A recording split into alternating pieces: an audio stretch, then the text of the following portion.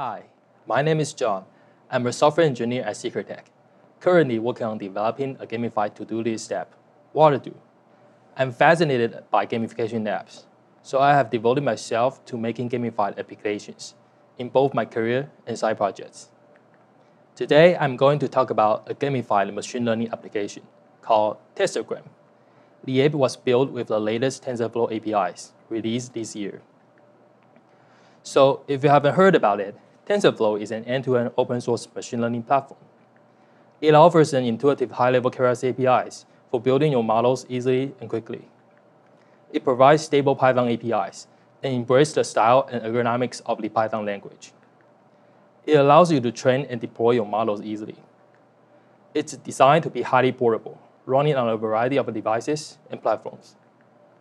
And TensorFlow 2.9 has been released at the time of this recording, ready for you to try out new and improved features. So TensorFlow makes it easier for beginners and experts to create machine learning models. And while we are excited to hear this, it can also be a little bit scary to learn tons of these APIs. So the goal of this talk is to help developers get familiar with this end-to-end -end platform. And to do so, we are going to build an image assessment application, TasteGram, completely from scratch. The app we are building for this talk is actually launched, and you can find it on Google Play. We are building a mobile machine learning app that allows users to get aesthetic scores of their photos.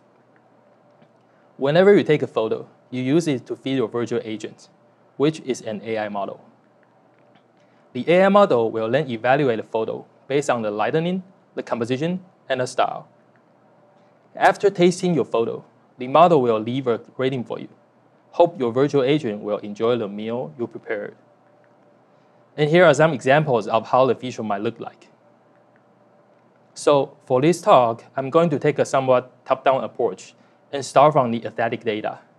Here, I'll talk about some useful ways of preprocessing the dataset by using the Keras preprocessing layers APIs. And then we'll move on to building and training the model, where we'll get to understand a little bit about how to apply the transfer learning to learn an image assessment task. Finally, we'll tie all of these pieces together at the bottom level and talk a bit about deploying the model on edge devices. So we start by talking about the data. We'll talk about data preprocessing for machine learning and how the Keras API can make it easier for you. When it comes to machine learning, a lot of academic focus is placed on model architecture and hyperparameter tuning. But when you actually look into the code that's written, this part is for the model. And this is for the preprocessing of data. So why do we need to preprocess the data? There are two major use cases for data preprocessing. The first one is what's called data vectorization. The reason is because neural networks can only process numerical values. And further, it's usually a good idea to normalize the scale of the numerical inputs to restrict them to small values, typically in the range from 0 to 1. The second use case is data augmentation. Data augmentation is mainly used when processing images.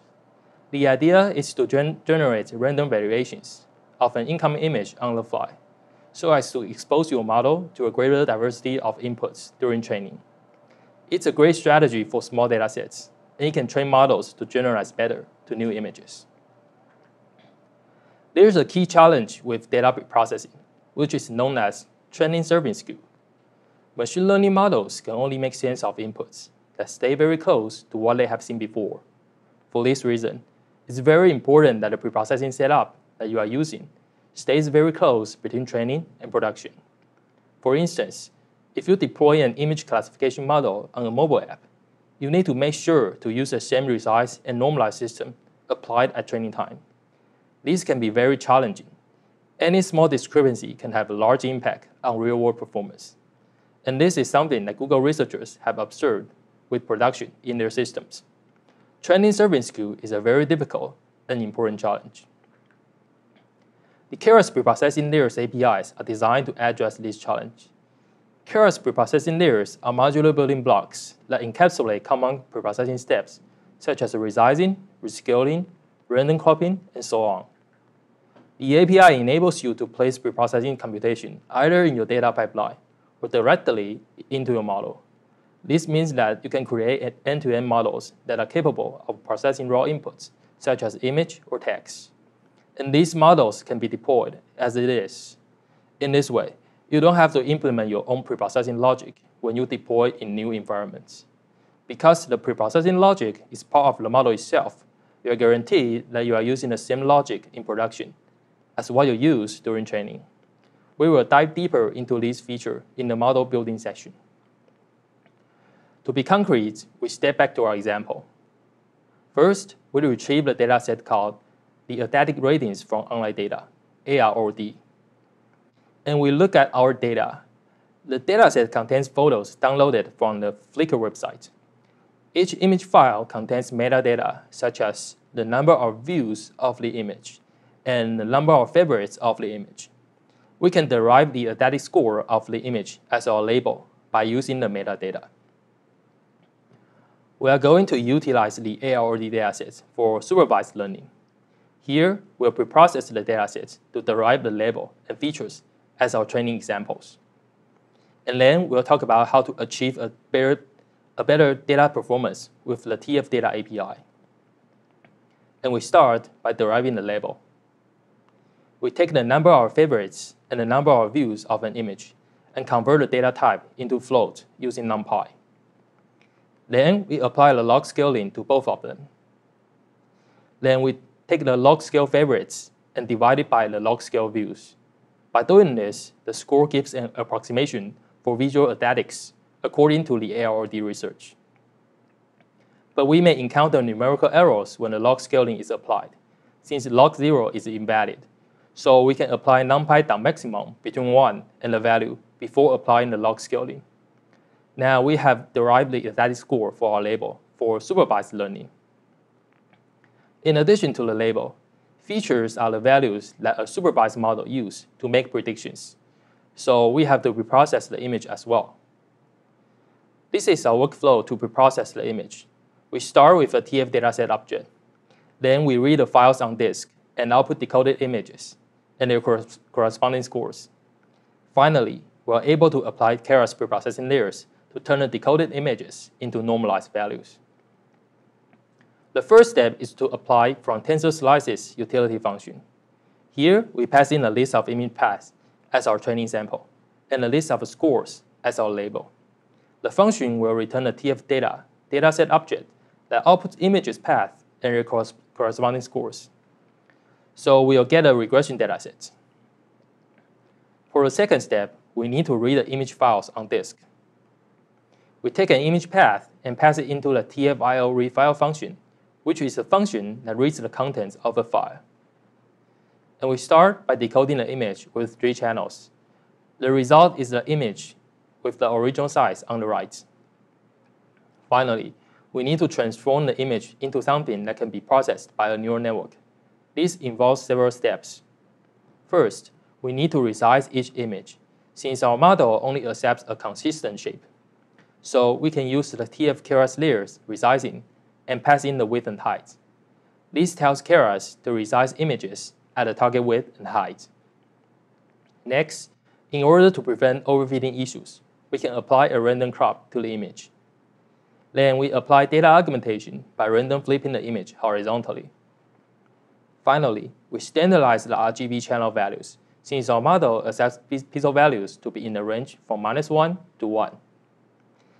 As you can see, once the layers finish the preprocessing, it's capable of turning an image into a float32 tensor, which encodes the entire image. We can then define a Python function to perform the preprocessing layers on the pairs training examples. Keras makes this entire process easy with the preprocessing layer. It offers a range of common options for image processing, including different ways to customize the normalization step and the cropping step and different ways to resize images. So you can see here that all of the preprocessings that we just applied but through the sequential model here. The sequential model is a stack of Keras layers where each layer has exactly one input tensor and one output tensor. You can think of a sequential model as a chain of transformations to apply to a given tensor. In this case, there's resizing, random crop, and rescaling. And the order of these matters so here we apply the resizing and then the random crop. And you can see that the size of the image has been reduced before applying random cropping. So for the sequential model, the order that you read it in code is the same order that it ends up within transformation. In this example, we have applied the sequential chain by using the keras sequential function, which groups a linear stack of layers into a TF model. Before we start building the model, we have to look into a common issue about the data performance. If we perform preprocessing and training sequentially by proposing one batch of data on CPU and then fitting the batch data to the model that runs on GPU, then the GPU will end up being idle for a lot of time. It will be waiting for the preprocess preprocessing stage to be done with the data batch before it can start feeding the model. The solution is through preprocessing and training in parallel. TensorFlow is a great API for doing this. We can preprocess our datasets asynchronously on the CPU while the GPU is feeding the pre previous batch. Let's take a look we can simply take our datasets and apply processing layers using the map function and define how many parallel threads you want to use for the CPU preprocessing. If you were doing it in pure Python without TensorFlow, it would be quite challenging. But TensorFlow solves the problem in a single line of code. So back to our example. Here's our data pipeline for training. First, shuffle the dataset to ensure data order does not cause any issue in training. Next, apply the batch transformation to a given batch size. Then we place preprocessing computation in the data pipeline. We parallelize the data preprocess by using map transformation and set a number of parallel calls argument. Finally, use a prefetch transformation to overlap the work of a producer and consumer. At this point, we have an efficient data pipeline with the TF Data API, and we are ready to build our model. And now it's time for the next step, building and training the model. Here, we'll talk about how to apply the transfer learning to learn an image assessment task. Transfer learning is all about taking the knowledge that's already been learned to help learn a different but similar thing. Here, we are going to apply transfer learning based on an image classification model to learn an image evaluation task. We'll first load the pre-trained MobileNet model to derive an image feature vector. Then define a new regression head for our model to learn a new task. Finally, we are able to train our model to transfer the knowledge from the image classification to the image assessment task. Let's load the pre-trained MobileNet model, which provides an image feature vector. First, define the URL of the MobileNet model from the TF Hub documentation. Next, we can load the model by using hub.keras layer. Here, we pass in the width and height of the input size, as the MobileNet defined, and the color channels, which in this case is 3, as the model accepts RGB images. Finally, we can immediately get the base model, which takes preprocessed input images. Before we continue, we need to make sure the base model works. We can pass in the zero tensor by using tf.zeros with a batch size of 1 also the width and height of the input size that we defined previously. We can then log the resulting shape of a tensor returned using result.shape to help us understand the size of the image. After running zeros through the MobileNet model, we'll see the shape of the tensor printed. As the first item is just the batch size of 1, we can see the model return features that can be used to learn a new task. Now it's time to start defining our model head for learning a regression task. We start by defining the TF keras sequential model to add our layers. Next, add the MobileNet as the input feature to the model, followed by a dropout layer to prevent overfitting issues. Then we stack a dense layer on top as the output layer. Here, the number of neurons should be equal to 1. Because this is a regression problem, we'll use a sigmoid activation on the output layer which is commonly used when trying to solve regression problems. At this point, we can print the model summary to the console to ensure everything is correct. Note that we have lots of trainable parameters, but a simple density of regular neurons will train pretty fast. We could try applying some modifications to the model architecture to see how it could affect the performance. Often with machine learning, there is some level of trial and error to find the optimal architecture that you give to the model for the best trade-off between the speed and resource usage. And finally, we can compile the model and it's ready to be trained. Here, the optimizer is set to RMS prop, and the loss will be a mean squared error.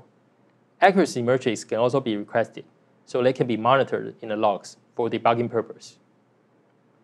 In the previous section, we mentioned that you can place the, the preprocessing layers either in the data pipeline, which is great during training, or in the model itself, which is great for inference, since it bypasses the problem of the training serving skew. And here's how it works. For training, we construct a model that takes preprocessed inputs. And for inference, we construct a model that takes raw image inputs. The inference model includes the image preprocessing layer as the first layer in the model. If we want to allow the consumers of the model to perform inference without having to be aware of how each feature is expected to be encoded and normalized, we can place the preprocessing layers to be part of the model. You'll find your inference model will be able to process raw images. And if you want to make your model highly portable and reduce the training serving skew, this is a good convention to follow. The next step is to perform training, which is where the transfer learning actually takes place. We can first define the model checkpoint callback to save the weights of the model. Then we call model.fit to train the model. Here, we can now pass in our datasets. Along with some configs, we set the number of epochs to 10. Finally, we pass in the checkpoint callback to save a model checkpoint after each round of training. Now, it's very nice to have a model, but our users still need to be able to access the model. Next, we are going to take a look at the deployment options. We have some requirements from our product manager, which should guide our implementation. Let's go through each of them. First, both Android and iOS need to be supported. Second, user privacy is prominent. Photos should never leave users' devices. Third, processing of photos should happen quickly to ensure a great user experience. And finally, a wide variety of hardware needs to be supported. Current users of the app have devices ranging from less powerful smartphones all the way to high-end smartphones with the latest chips. The first step is to convert a TensorFlow saved model or Keras model to the TensorFlow Lite model format. These models can then be optimized to improve performance. Once the models are optimized, they can be deployed on the mobile application. First, we'll perform the model conversion. We use the Python API to convert the TensorFlow model to the TensorFlow Lite format. We now have a TensorFlow Lite model that can actually run on a mobile devices.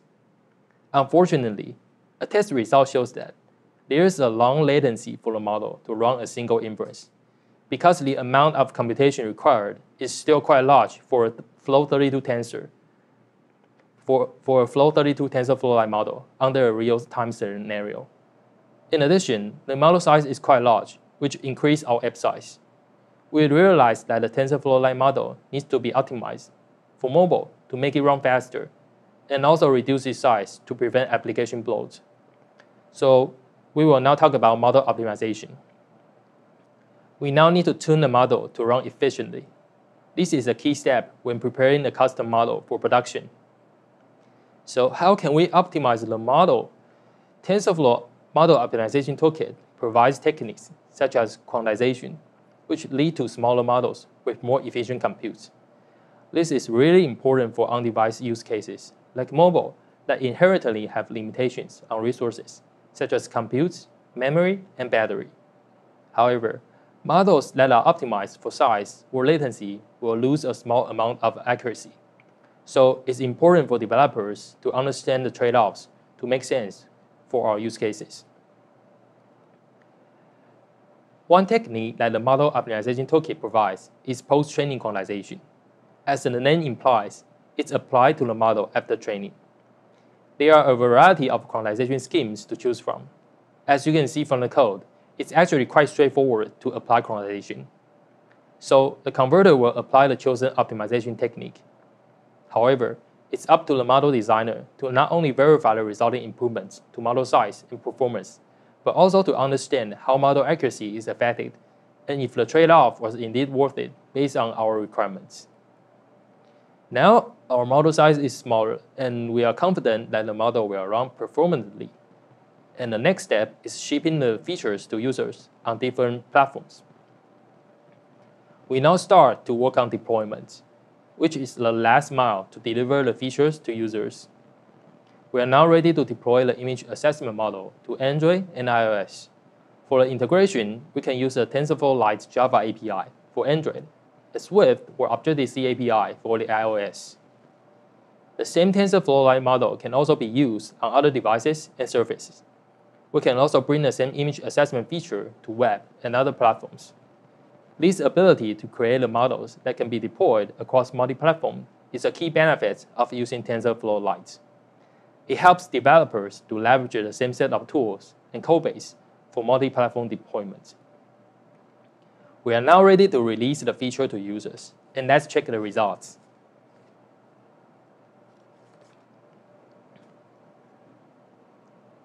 First, we turn on the airplane mode to ensure our app works under the offline situation.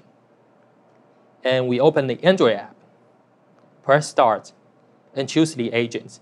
Here, we have Agent Sina and Agent Dinah, since different agents are trained to judge different image styles. Here, we'll choose our Agent Sina. She is our photo rating girl. Then we choose a photo to feed our agent and wait for a few seconds for Sina to taste the photo. And we got a score and some comments from our agent Sina. Vivid colors are impressive. Cool.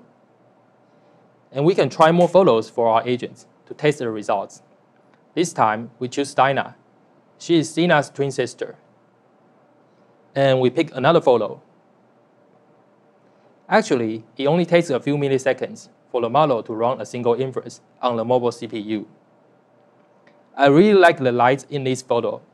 Yeah. Let's try out more photos. This time we'll choose this one.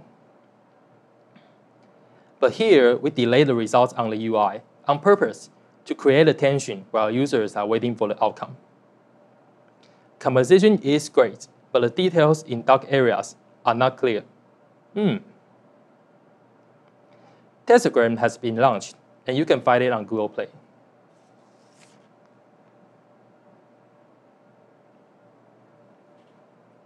And that's it. It's really exciting for me to see the entire machine learning pipeline working like this. TensorFlow makes the entire machine learning pipeline easier for developers. So, when building machine learning applications with TensorFlow, you can use Keras preprocessing layers in data pipeline or as part of the model to bypass the training serving skew problem. You can also obtain the base model from TensorFlow Hub to generate image features. You can then train a new prediction head with transfer learning. You can convert and optimize the model and deploy the model to deliver the features to users. So in this talk, we went into depth about how an image assessment application like TasteGram works. TasteGram is an app which leverages the TensorFlow ecosystem and Python APIs to serve the entire pipeline, all the way from data to enjoyable experiences in user hands.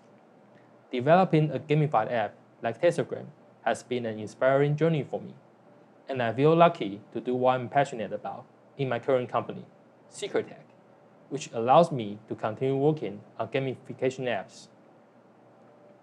In addition to the TasteGram app, there are several publications and API reference documents for you to check out. Lastly, we encourage you to keep the conversation going with us.